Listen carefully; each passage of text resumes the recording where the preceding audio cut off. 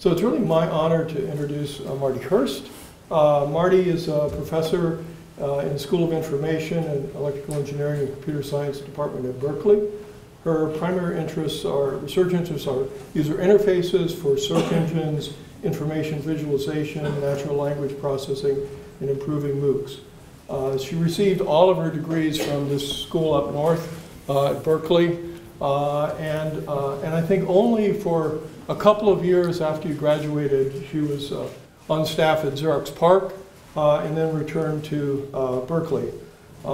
and and so she's, uh, she's sort of well known. She has many, many honors. I could spend a huge amount of time uh, going through honors. Uh, I'll just mention two. She's, she's an ACM fellow, uh, and she was recently elected to the CHI Academy.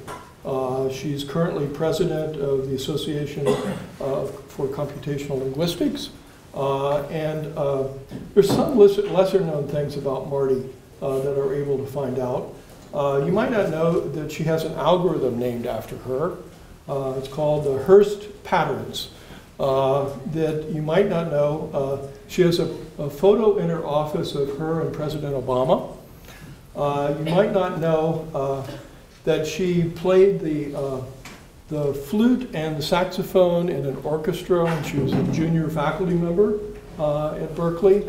Uh, and and she's certainly someone who I think very early on, very much before many people did, sensed the importance of big data and searching for that and natural language interfaces and all the things that we sort of see that have really changed, you know, the way we interact and communicate with each other uh, today. I mean, Marti was one of the person that seemed to have a nose for that very early on.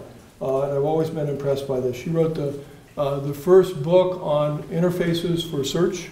Uh, and, uh, and she, uh, she's going to today talk about the intersection of language, algorithms, and design. So, Marti Hearst.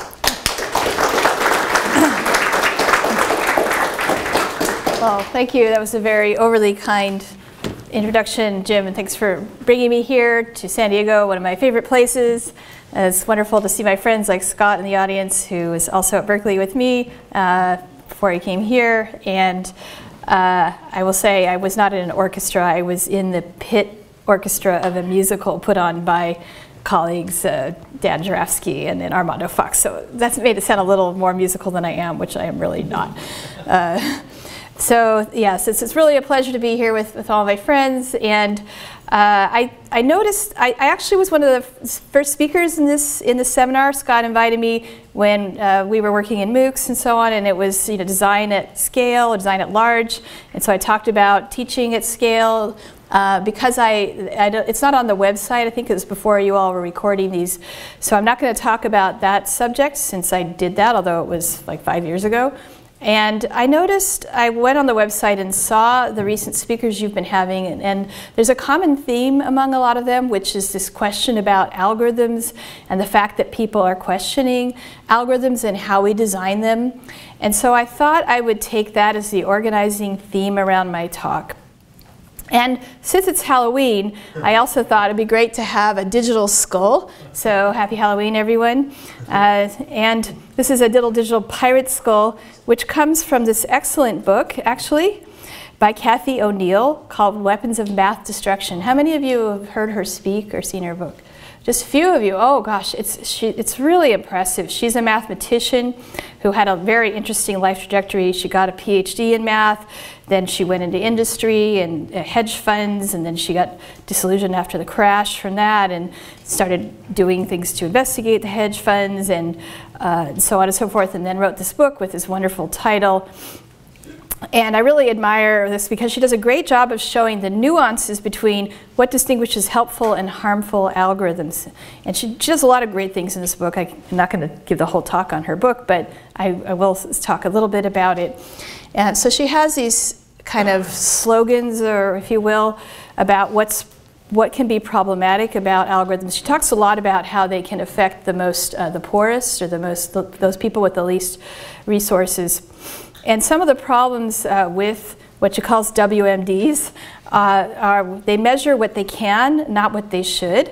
And I think uh, we're often guilty of this when we make algorithms in computer science. One of my examples is uh, from search interfaces is in the early days especially, we would make an inter interface that would allow you to sort items by the uh, the file extension, like how many had PowerPoint and how many had .doc. Like anybody wants to see that. It's just because it was easy to do. And that is uh, going to be a theme of my talk. Um, another problem with WMDs is that they do not adjust agilely to error, and I'm going to give an example of this.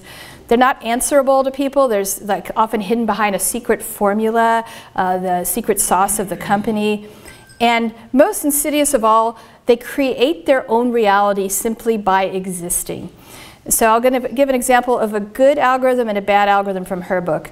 So a good model or a good algorithm she gives are, are baseball statistics like your Moneyball out there. And the reason this is a good algorithm is, first of all, the stats are all there. They're transparent. Everybody can see the same stats and works from the same stats. And they reflect the reality of the baseball game. So they, they actually, when you model the the statistics, you know, the home runs, the hits, and so on, that's actually what people care about for, you know, whether or not people are going to win the game. So they, they actually can help determine whether or not the game is going to win, whether or not a team is going to win the game, and, and so on. Uh, and there's more to it, more nuance to it that I'm going to go into. Uh, WMD, uh, she has a very compelling chapter on this. Uh, the U.S. News and World Report college rankings. But the history of this that she relates, I did not know. Uh, so she says they were, it was uh, just this second rate publication when it came out. It was called US News at the time. And it came out in 1988, and they decided, let's rank some colleges. It wasn't a common thing to do at that time. And well, they had to come up with some features to measure, and they just made up some features to measure, some things they could measure. Um, but more insidiously, uh, say they if they put something in like how expensive the college was, then certain colleges did not come out on top. Harvard, Stanford, so on. So they, they didn't put those features in the model. Uh, and uh, so, and, and, then if it had just stayed like a little local measure, then it probably wouldn't have mattered that much, but somehow it became really popular. It became the standard measure for all students for all colleges. So before you knew it, all college presidents were having to optimize their university to meet this model, and all students and all parents were trying to optimize their students to go to those top ranked colleges. Uh, and Therefore, college presidents had to maximize everything in their campuses, the faculty-student ratio, the low admissions rate, uh, how good the dining hall was, while not keeping costs low because the cost of the college was not one of the factors in the model. Uh, and this, this creates its own reality. Uh, furthermore, this has really invidious other effects like um, Students used to have a safety school that they would just apply to, they could be sure of getting in, but because there's a factor about the acceptance rate being low, making the school higher, then the schools stopped wanting to accept the safety students to their schools, so then students were not getting into any college, and so on and so forth. And she has a statistic that between 85 and 2013, I remind you this, it was first introduced in 88, this ranking, uh, the cost of tuitions increased 500%. So uh, there's, there's a, a, case to potentially be made that uh, this is a direct effect of this, although it may have been from other reasons. Uh, so, okay, that was really heavy. Uh, so time for some humor. so let's think about things that never work, but everyone does anyway. And this is another theme of my talk. So sometimes everybody does something because everybody else does. So one of them is uh, promising yourself that you're going to get up, go to bed early tonight, all right? Um, trying to win over trolls in social media, you know it'll never work, but you do it anyway. And here's another one, create these to explain something. all right, here that is. What is this? What is it? Okay, what is it telling you? Anyone? Anyone? Anyone? What is this? Someone tell me. What is it? It's supposed to represent the like breakdown of words. Yeah, but no, what is it? If you got it in your email, what is this advertising to you? Is anyone, can anyone guess? What is it? Keep guessing till somebody gets it right. Information visualization? No, no, what is the content? Oh, genetics, biology, words. What do you think? So we got this in our, one of my colleagues got this in their email advertising something. Um, biology. Well, it's Genetics. advertising like a conference or something. Yeah, it was advertising a class. Do you, would you take this class? What's it about? So this is kind of my point. Uh, so in the realm of language and text analysis, how often do we have the designs we want versus the, those our algorithms can easily make? And I would say uh, sometimes we don't, like maybe a lot of the time. And so I don't think that these text problems are as bad as the WMDs that Cathy O'Neil talks about, but I think they're a problem, especially in today's uh, era of misinformation. And it's not because people are trying to misinform in these cases, but I'll, I'll go into my thesis as, as we go. So first, a little history. In 2006, these things came out. They were called tag clouds. And I was puzzled. I was like, look at that. Um, so they came, they came around because, for those of you who don't remember, because you're, you weren't around then, uh, pe- people took photos and they put them on a site called Flickr, and they put tags on them, which are, this is what the photo's about, because photo doesn't have words on it, so it'd be easier to look up the photos. And so you'd say, this is a photo of a wedding, and you put a wedding tag on it, and then this thing came along to show what the photos were about, and it was stuck on, on Flickr, and, and Flickr doesn't even exist anymore. Well, I guess it does exist again. And so I was like, what? This violates so many perceptual principles. It looks like a paragraph, but it doesn't read like a paragraph. The words are of different sizes, which makes your eye dart all around. It's, it's sort of ugly. You know, if there's a big, long word, that makes it take up more space than a short word. But that doesn't, you know, so a city with a long name takes up more space than a city with a short name. That doesn't make any sense. The other hand, is compact, it's kind of eye-catching, and, and so on. It's actually in alphabetical order, and, uh, I don't know if you noticed that, and so on. But still, you know, why do they look like this?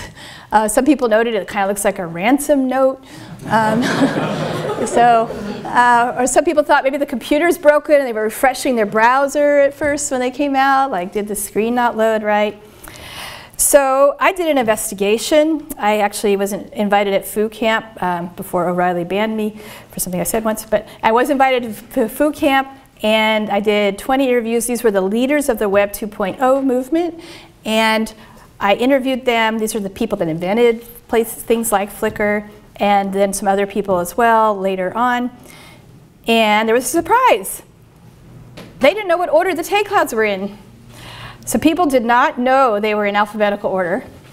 And when I asked people, what order are the tags shown in? They would say things like, well, that's not really relevant. You know, that's not how I think about them. Um, I think they're in random order, or they're ordered by semantic similarity. And actually, this was found in a follow-up study as well. People actually don't care about the order of tag clouds. On the other hand, people are saying, oh, they're used for navigation. Alphabetical order is useful when they kind of intellectualize it. So if the people that are commissioning them, obviously the person who coded it knew it for the company, but it was the person who had it commissioned to have it coded did not know. So what were these things for? And I have like a whole paper on this, but I'm going to make a long story very short.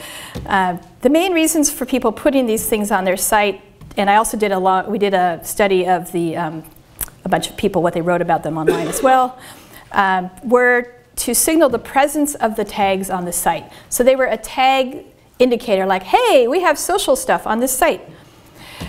An inviting way to get people interacting with the site, like this site is something you want to engage with. A good way to get the gist of the site, so that's what I'm also told. This is like what this is about. You can get the gist of what this is about. That's a claim that's made. And easy to implement, and I put that in a bigger font on purpose. People said, oh yeah, it's easy to code in HTML, really easy to code. And I think that's probably one of the most important things. So new, my new perspective and the kind of the summary of the paper was tag clouds are social. They're not about information, they're not about navigation, even though some people claim that. They're really about signaling that there's tags and sort of signaling generally what this is about. This is about pets, it's not about computers, but that's about it. It's a way to reflect oneself, like these are my tags, are they different than your tags? And I also asked people, you know, is this a, is this a fad uh, or not? Or I looked, and we also coded to see if people were saying it was a fad. A lot of people were saying this is a fad, it's probably going to die. Uh, but people weren't sure. All right, 10 years later, they are not gone. Um, and data science is now hot, although on Google Trends, uh, machine learning and AI seem to be passing big data and data science. but um, it's, if you search on data science, you get some tag clouds as well as a lot of other visualizations. And if you search on word clouds, there's a lot of word clouds. There are a lot of ways of making word clouds. Lots and lots of choices. Now, why is this? Well, primarily, and there's a big survey paper that shows this, people use them to have fun. And there's nothing wrong with that. There's nothing wrong with people making art and having fun, in my opinion. That's fine. Uh, and it's become pretty easy to just paste some text online and, and make something, and that's, that's fine. However, people are also using them for, very commonly for scientific discourse, uh, even though they don't work for that, I would claim. And the question is why? Okay, so this is a picture of a Wordle, which is uh, the first, this sort of launched a thousand tag cloud algorithms uh, by Feinberg. And this one, you know, was the first really graphically kind of appealing one, I would say, unlike the ones I showed you before. Uh, and so when you look at this, there's some really big words that stand out and some smaller ones. But you know, you're probably pretty hard pressed to notice the small ones. And so whenever I see these, I always wondered, you know, what's the point of the small words? Like, why are they there? Unless you're really bored and you're on the subway across from somebody wearing this on a t-shirt, are you ever going to look at the small words? Um, so what are their, you know, their relative sizes really going to show you anything scientifically? What are the themes among the words? Can you tell? You know, how many words are about each topic? It's really hard to see that. And people say, oh, the sizes tell you the amount. Um, if you look at this, can somebody tell me the relative different sizes between Redskins and Bengals and Bengals and Cowboys and Seahawks? Uh, when you actually plot them in a bar chart, I think it's a lot different than whatever your intuitions were, probably, right? So I think whatever you thought, it wasn't that. All right. And then people say they're good for summaries, so I'm going to give you a few seconds to tell me. I'm going to show you a word cloud. Don't shout out the answer if you think you know. Just see if you can see what it's a summary of. All right, now, that's the answer. How many of you recognize that? One. Why did you not see that? Well, the word clouds remove stop words typically, you know, the, the syntactic units. So to, be, not, or, those are all removed. Uh, they would have been pretty large perhaps, potentially if they weren't removed. And then you see sleep and bear and death. Our word association engines are making us think about bears hibernating or maybe killing you, right? Those words are in there. If you look, somewhere in there. It's not what they're, it's not what it's about. It's dreams and death and shuffling off this mortal coil. It's what happens when you take words out of their sentences where they belong. And when people communicate, they're not thinking about the individual words. They're thinking about the concepts that fall that arise off of those words. But when we do data analysis, we obsess about the actual words used, which isn't the point most of the time. But that's what we do. We throw them into our NLP analysis thing and we see what word is most common, because that's the easiest thing to compute and plot. So Feinberg, who invented the Wordle, is a very thoughtful guy from his writing. I actually don't know him personally. And he knew what he was doing. And you know, millions of people, he wrote this paper after millions of people had started uh, using Wordles. So he worked at IBM before he made Wordles doing uh, this Dogear system that you, was building on tags, and he said something like this. Some of Wordle's success is due to its one paste, one click, instant gratification. And he, he was very early with having something where you could just take some text, copy, and paste it in, and it did the TF-IDF calculation, it did the, the tokenization, did everything. You just got a thing up there, and then you could automatically just refresh and get new fonts, new layouts, new colors, and it looked awesome. There's not, this is all quotes from Feinberg. There's not much evidence that tag clouds are all that useful for navigation or other interactive tasks. Once I decided to build a system for viewing text rather than tags, it seemed superfluous to have the words do anything other than merely exist on the page. I decided I would design something primarily for pleasure. So his goal was not to make something for scientific analysis. He knew he was making something for fun and art. The commonly used trick of scaling by the square root of the word's weight to compensate for the fact that words have area, not just length, simply makes a Wordle look boring. So those of us who teach InfoVis, one of the things we teach is if you use, say, a circle instead of a line, the area is seen in two dimensions, and so you have to actually take the square root of the area or else people see it twice as large as the actual value. He's aware of this, but he didn't want to reduce the size of the words to correspond to the relative size of the underlying number because it made the Wordle look boring. Color means absolutely nothing in Wordle. It is used for contrast and aesthetics. Okay, so Wordles are not for doing anything scientific, according to their inventor. All right. So other studies were done. A different, uh, this big interview study was done with, with Martin Wattenberg and Fernanda Viégas a year later, where they surveyed 4,306 Wordle users, because there's a lot of users and they like Wordle, and they answered the survey. And they found 50% did not understand what the font size meant. 57% wrote, wrote the text themselves, so they were not using it on data. And color they often was interpreted as having meaning. They didn't have a precise number. So people did not understand what was going on at all with these things. And there's uh, other studies that have been done on various variations of word clouds have been found that varying font size is detrimental to understanding statistics. Font size can guide visual search for certain tasks, but users prefer to just type in a search box if they actually have to look, actually have to look up words. And if you use like column layouts, or bar charts, these are much better if you actually care about frequencies. So this is, a, you know, so fine. So why are they used in general by everyday people? They're easy to make, they're visually engaging, and other people use them. So they're commonly used. So, so that's cool. And you know, if these were just an art project, uh, I wouldn't really have any beef to make. But I do have a beef because they continue to be used as evidence in scientific settings. Uh, last spring, uh, this was used in a PhD student's qualifying exam that I intended, attended and in a faculty applicant's written materials and job talk that uh, crossed our portal. Um, needless to say, that person was not hired. Uh, so, and people just seem really unaware of like why they're using these things. They put them up and you're supposed to interpret them. Uh, also, I just got back from Berlin where I was at the InfoVis conference, and there were at least two papers with them. This was in one paper, and the person's, in the, in the text of the paper, it stated that this word cloud shows a summary of tweets, and it was dynamically updating all of the time.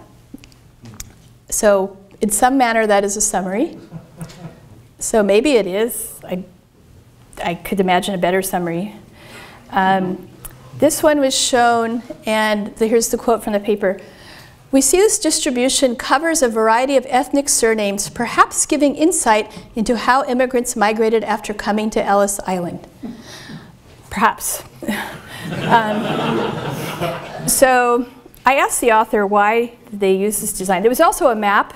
Um, so the idea is there's actually a cool project where they are able to find how do surnames co-occur with some geographic data.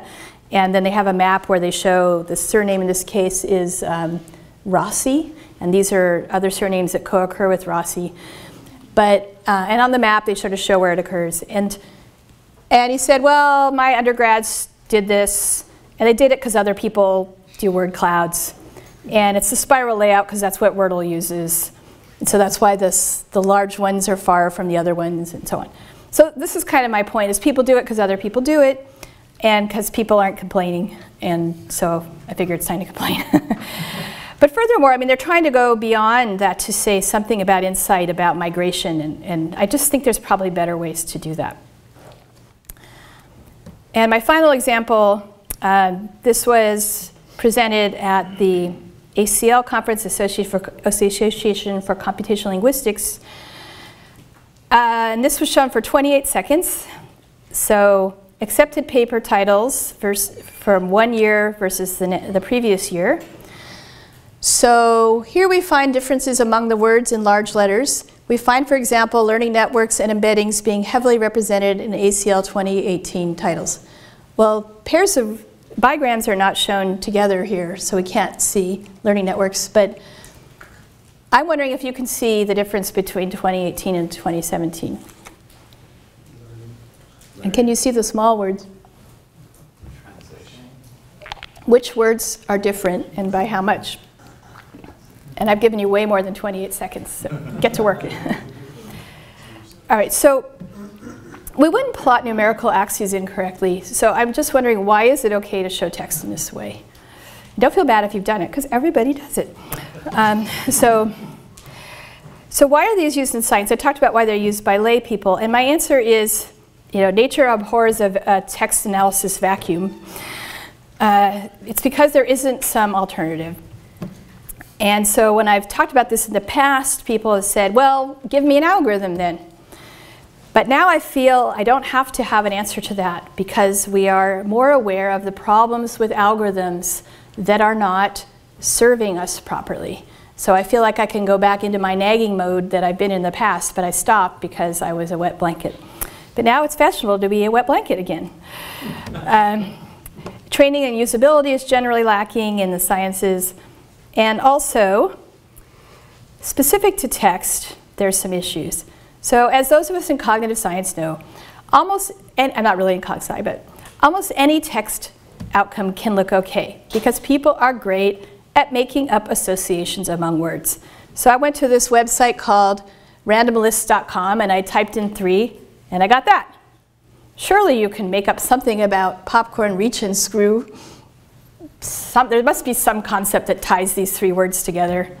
Can somebody make up something, a machine that helps, uh, helps you fix a popcorn popping machine without having to reach really far? I don't know, right? I mean, you can always find an association among words and make a category out of it.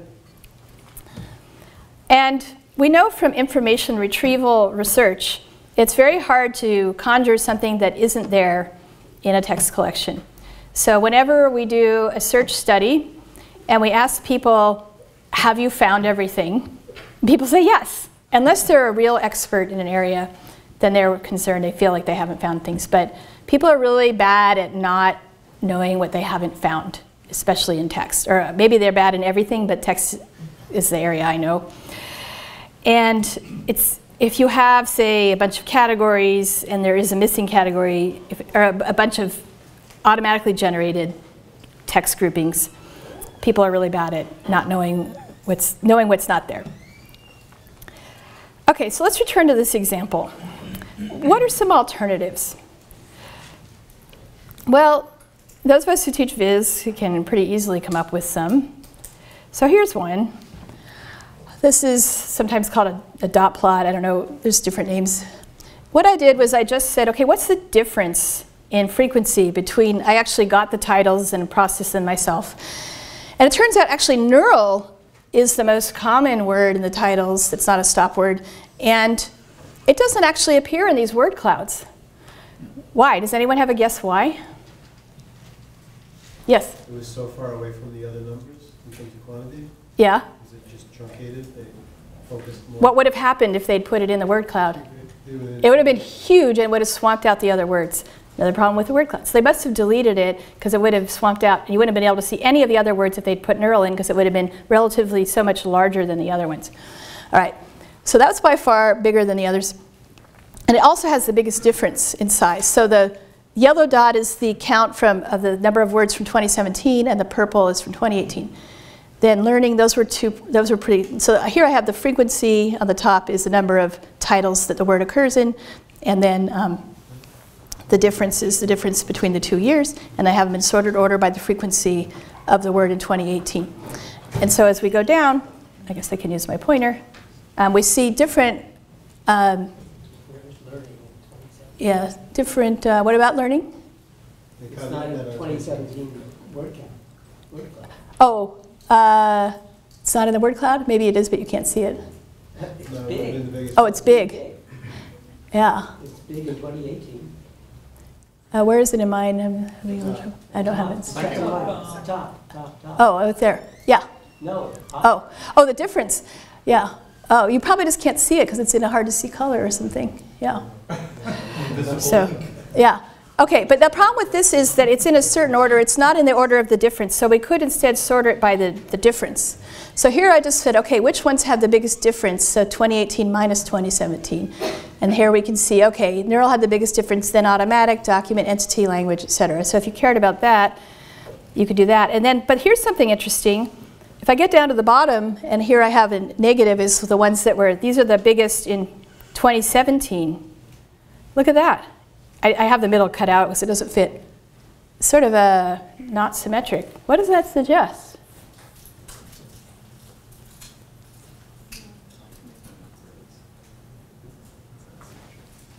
More papers in 2018. So it's not even a normalized comparison, mm. which I didn't even realize till I plotted it like this. So you, you actually, you know, you need to plot data multiple ways to actually even see what's going on. But if, if people aren't really understanding that, the, I don't want to, didn't want to have like bring up a thing and scroll it online here. But there's more, um, there's more um, bigger differences in the 2018 direction and the 2017 direction, and I suspect that's because there were just more papers, because there were more words in the 2018 direction. But it wasn't normalized because we get more submissions every year and we keep accepting 25% of the papers, that means there's going to be more words in 2018. But that wasn't taken into account, it wasn't normalized. So, um, now the problem with what I was showing is it doesn't emphasize the words as much, so we could just zoom in and, and try to make it clearer which were the words that were the biggest um, differences and make a sort of more focused thing like this. But I will admit that something that is lacking from this design is a focus on the words themselves. So something that word clouds does give you is it really makes you notice the big words. So that is an advantage of those word clouds. You don't notice the small words, maybe you might notice one or two for some random reason, but you don't, but you, you really do see those big ones, and you don't so much with the bar charts. And so, uh, here is an approximate alternative. Since I did it by hand, um, I didn't like make the numbers right. So here's an alternative where I've grouped words together according to categories. If you know about computational linguistics at least, these are into general categories that are related like semantics, deep learning and neural nets, parsing and language models, um, machine learning, and so on. And let's just pretend that I have the relative sizes right, even though I just made them up here because it was too much work to uh, automate this because I don't have a program to do it yet. Uh, is this better? It's organized by topics. If I were to show this in a keynote and say, uh, these were the difference in size in the general areas, would this be more informative than what was shown in the word cloud? I'm going to argue yes. And I have some empirical data to point to back it up.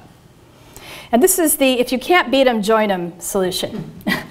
so if the bar charts just aren't going to work, this is an alternative word cloud. Yes? What about phrases like machine learning? Ah, phrases can be much better. And th there is a, it is a hard problem in NLP about where exactly to cut them off, but if you hand engineer them, it can be much better. And actually, word clouds often look a lot better if you use uh, bigrams and so on. Yeah, good point. All right, so here's some new work where the goal is to retain the engaging aspect of word clouds, since if you can't beat them, join them, while imparting some useful semantic information. And, but, but by the way, getting rid of the assumption that size means anything, because people really do not process size of these things in any depth, except for really big ones get noticed. So the hypothesis was organizing the words uh, both semantically and visually will improve the understanding of these things while retaining engagement. So a big question is how do you evaluate these things? Because if you say what the category is supposed to be, then you've already said what the category is. If you say look up a word and the word's there, that's defeating the purpose. So one of our contributions was coming up with a way to evaluate these things. So most research papers about word clouds are sort of vague about what their goal is. They say gist or summary or navigate or see trends. But then when they evaluate them, they have the participants identify the largest word or identify a word or something like that. So how do we evaluate these more deeply? So we came up with a new task or somewhat new task. Someone had sort of done something like this. Given a set of words, identify the category, but it's like the game. How many of you played the game Taboo? You know that game? It's like that game. So here's some words where the category cannot be one of these words, but it needs to encompass all of the words. So what's the category? Right. So we came up with a set of 60 categories like this that native English speakers in the US would get right 95% of the time on Mechanical Turk.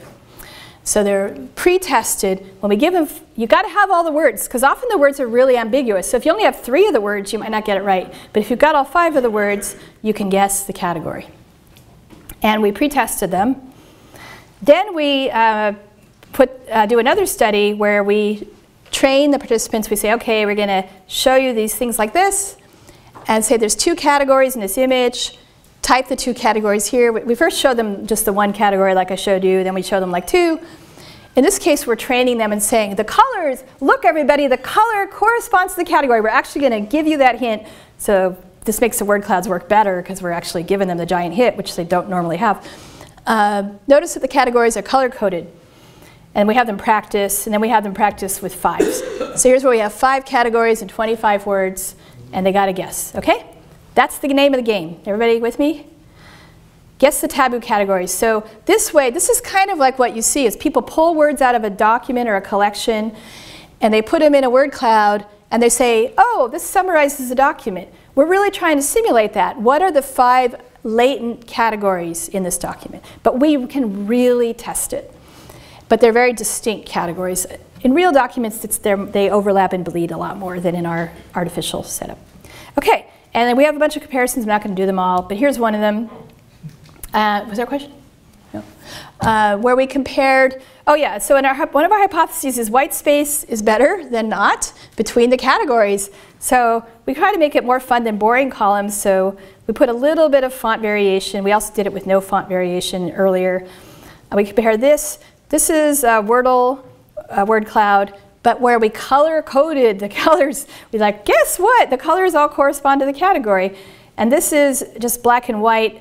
Um, in normal Wordles, the colors are random. We, instead of making them random, we just did black and white because we had an earlier black and white test. And our hypothesis is the this is the worst, this is second best, and this is best, and that people would prefer these because they're more fun than those. Uh, it turned out that, yes, these were abysmal uh, Wordles are just terrible for finding categories. In a time limited, we gave them 15 seconds. And people were very good. Some people would get five out of five uh, for the columns and in between for the color-coded Wordles. Um, and when we asked which did you prefer the, for the task, 88% preferred the uh, columns. They, they, did not prefer the Wordle. And got to remember, these were crowd workers, uh, Mechanical Turks, so since they are judged on how well they do, it's kind of natural they would prefer the thing that helps them do the task best. So in the next study, we asked which do they prefer for the task and which do they prefer aesthetically. We separated that. So the next, the next task, we have the columns as before, but with bigger font variation like what Wordle does, uh, just to make it harder. And then um, we have the regular Wordle. And then we um, found this website that kind of lets you keep the categories together but makes it look like a Wordle. So all the, all the pinks are together, all the browns are together, all the greens are together, but there are categories. So we thought people would like these the best. And we thought this would do the best, second best, third best. And that's pretty much what happened. I kind of try to code it down here. It's hard to see. But um, so the um, color Wordle now is, is doing better than the black and white Wordle. Uh, it's much less good than the other two, but these two are statistically tied. So uh, once you start, you don't really need the white space once you keep the colors close together. And so, so that was a bit of a surprise and encouraging because that means we can really make it look Wordle-ish and as long as we keep the categories separate. So that was exciting. And then 90% still preferred the column, uh, but it was, uh, and 50% aesthetically preferred the column, but the other rest was split between these two. But we think there's a confound because we made the fonts so varied. We think if the fonts were uniform, they would have, more of them would have preferred this, just the columns. Okay, coming back to this, as I said, we received this in our, one of our, my colleagues received this in our email. So we decided to do a separate thing, which is to get more at the aesthetics. Uh, and so rather than have people try to guess these categories, we thought, let's take this design, uh, reduce some of the words, and make four variations of it, and have people just tell us which one they like the best, not do a task.